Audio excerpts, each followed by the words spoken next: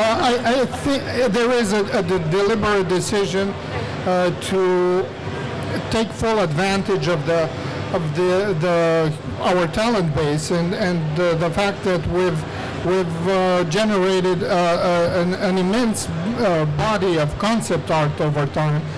And our old engine didn't didn't allow us to the same degree to to realize or, or the, to its at its full potential the the you know the qualities of, of this uh, of our vision. And and uh, this time around our tools are you know head head and shoulders above what we uh, had the first time around. So uh, we really want to bring that all that uh, concept art to the to the forefront and showcase it and and uh, implement it and translate it into in-game assets as as truly in, uh, as as and closely as as uh, possible. And we do have the the uh, tools to to uh, accomplish that this time around. So that it's it's a pretty fundamental. Um, you know, uh, goal that we, we, we put ahead of ourselves. Do we have any questions from the audience at all? We're almost out of time, so I'm going to ask one more question, and then uh, we'll wrap it up. Um, you talked about building an art team and um, working on an art team that challenge you, challenges you and pushes you. Um, could you talk about like one of the most rewarding aspects of your uh, of your job? Um, th throughout the game process, there there's tons of highs and lows. Um, but recently, with the trailer being released and seeing the fan reaction, that was a definite highlight. You know, we've been dark for a long time with Guild Wars, and it, it was just so cool to to see that anticipation and the fans just coming back to Guild Wars and with open arms, and uh, you know, it was amazing to see the reaction. Uh, and just working on the video and the environments and putting it together uh, was was so much fun. So that was a recent one for me.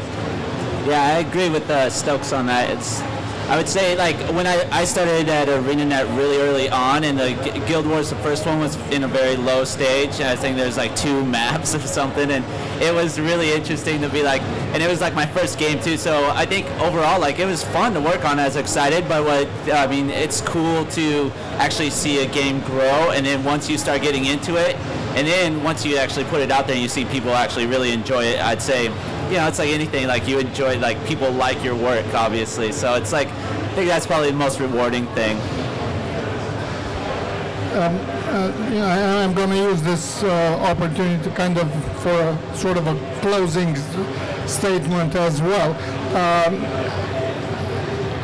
it, it, it, you guys can't understand how uh, important your support is is for us, uh, and and uh, what degree of satisfaction uh, it gives us to see uh, your interest in this game uh, very much alive and your interest in, in the art of the game uh, being so high. So uh, moments like today when we had, you know, a, an endless line wrap around the, the block here um, and, and people waiting for, you know, an hour plus to get their hands on, on uh, the art book.